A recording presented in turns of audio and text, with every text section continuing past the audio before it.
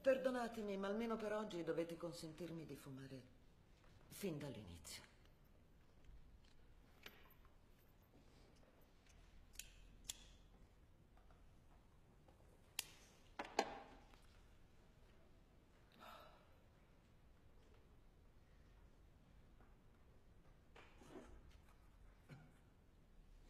Quando il New Yorker mi assegnò l'incarico di recarmi al processo di Adolf Eichmann, ero convinta che un tribunale avesse solo un interesse, adempiere alle richieste di giustizia. Sapevo che non sarebbe stato un compito facile, perché la corte che processava Eichmann doveva confrontarsi con un crimine non riportato in altri codici di legge e con un criminale dalla natura sconosciuta in ogni corte prima del processo di Norimberga. Tuttavia, la corte doveva giudicare Eichmann come un uomo processato soltanto per le sue azioni. Nessun sistema era sotto processo, nessuna storia, nessun ismo. Non lo era neppure l'antisemitismo, ma soltanto una persona. Il problema con un criminale nazista come Eichmann fu che egli insistette a rinunciare alle sue caratteristiche personali, un po' come se non fosse rimasto più nessuno da poter condannare o da perdonare. Adolf Eichmann non faceva altro che protestare. Contrariamente alle accuse del procuratore, infatti, egli affermava di non aver mai potuto e voluto fare nulla di sua spontanea volontà di non aver avuto mai nessuna intenzione, non importa di che tipo fosse, buona o cattiva, poiché aveva solamente obbedito agli ordini. Questa tipica scusa nazista spiega molto chiaramente che il male più terribile al mondo è il male commesso dai cosiddetti signor nessuno. È un male che viene commesso da uomini senza moventi, senza convinzioni, senza alcuna crudeltà o senza menti diaboliche, perciò da esseri umani che si rifiutano principalmente di essere delle persone.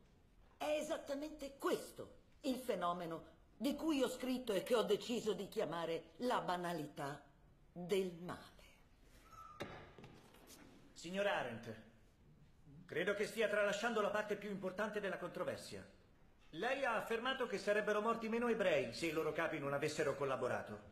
Come saprete, tutta questa faccenda è emersa durante il processo e ho dovuto giustamente chiarire il ruolo di quei capi ebraici che parteciparono alle attività di Adolf Eichmann. Lei sta incolpando il popolo ebraico della propria distruzione. Non è vero, io non ho mai incolpato il popolo ebraico. Resistere per noi era impossibile. Ma oggi posso dire che esiste la possibilità che ci sia qualcosa tra la resistenza e la cooperazione. Ed è unicamente per via di questo motivo che ho dichiarato che forse qualcuno dei nostri capi ebraici si sarebbe potuto comportare diversamente. Trovo che sia profondamente importante riflettere su questi argomenti, perché il ruolo dei capi ebraici può essere estremamente utile a darci l'idea dello spaventoso e assoluto cedimento morale a cui i nazisti diedero vita nella rispettabile e tranquilla società europea. E questo non avvenne soltanto in Germania, ma anche in tutti gli altri paesi. E soprattutto non avvenne solo tra i persecutori, ma anche tra le vittime, purtroppo. Sì. Ha detto che le persecuzioni erano contro gli ebrei. Allora come mai ha descritto i reati di Adolf Eichmann come crimini contro l'umanità? Perché anche gli ebrei sono esseri umani. È questo lo status che i nazisti hanno cercato di negare. Un crimine perpetrato contro di loro è per definizione un crimine contro l'umanità. Anche io, come certamente saprete, sono ebrea. E sono stata accusata di essere un'ebrea che odia se stessa o che desidera difendere i nazisti e disprezza fortemente il suo stesso popolo. Questo non può essere un argomento, secondo me. Questa è un'accusa falsa e infamante. io non ho mai scritto in difesa di Eichmann.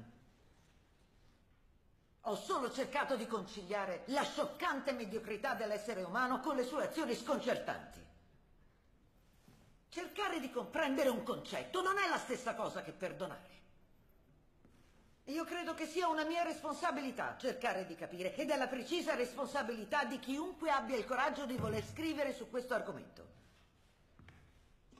Fin dai tempi di Socrate e Platone siamo soliti considerare il pensiero come quella conversazione, quel silenzioso dialogo che c'è tra me e me stesso. Rifiutando totalmente di essere una persona, Eichmann ha scelto di rinunciare completamente a quella che consideriamo l'unica e più peculiare qualità umana, quella di essere capaci di pensare. Di conseguenza non è più stato in grado di poter dare alcun giudizio morale. Questa sua incapacità di pensare ha dato la possibilità a molti dei cosiddetti esseri umani ordinari di commettere azioni riprovevoli su vasta scala mondiale, molte azioni che nessuno aveva visto prima. È vero, io ho voluto considerare questi argomenti solo da un punto di vista filosofico. Sapete, la manifestazione del lieve vento del pensiero non è assolutamente la conoscenza, ma l'attitudine a discernere il bene dal male la bellezza del mondo dalle sue brutture. E quindi voglio sperare che pensare possa donare alle persone la forza di saper prevenire terribili catastrofi in questi rari momenti in cui sopraggiunge la resa dei conti. Grazie.